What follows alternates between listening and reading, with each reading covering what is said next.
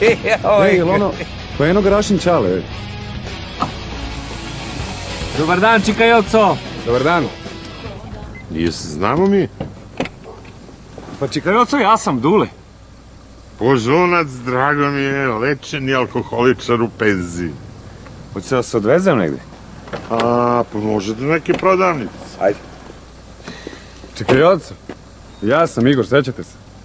Raša i ja smo zajedno pravili oproštajno pred odlazak u vojsku. Zajedno smo čak i služili do njegove prekomande u Sloveniji. Ja sam sad u Engleskoj, već deset godina sam tamo. E, ti si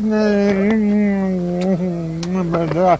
E, dobio prekomandu u Sloveniju, a tebi tvoj čale sredio. On je bio veće mudo od mene. A mi dva meseca mi nisu javili za prekomandu, jebo sam i mater, mi ga čekali.